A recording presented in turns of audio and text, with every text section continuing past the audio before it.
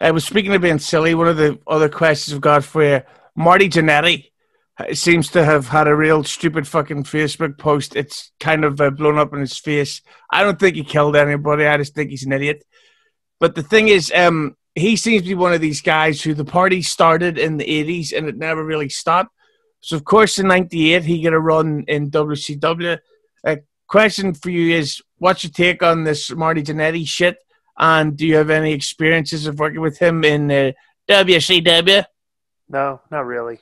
But he, uh, I'll tell you this: he, um, he's full of shit. I mean, I, I, I doubt he killed anybody. That's ridiculous. His story just doesn't really make a lot of sense, you know.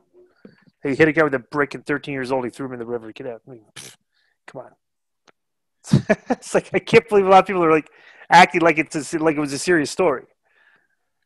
Yeah, but the thing is, they'd rather talk about. They're not going to find anything. There, nothing's going to happen with this. They're not going to find some story of some missing person. It's just it's bullshit. The um the the thing is, but that guy, like a friend of mine, well, I'll not name It's names. bullshit. but the story name- is complete. The story is not. If you're sitting there listening to it to a, a Marty Jannetty who's had substance abuse problems for the better part of however many years, rambling on about some nonsense, and everybody's taking like like all the marks are and the dirt sheet people acting like it's like it's news. It's like it's it's it's not. It's completely lacking common sense. Yes, though I do have a friend Scott who uh, Marty Jannetty asked him if he could get him any coke. Okay. Uh, I'm just saying.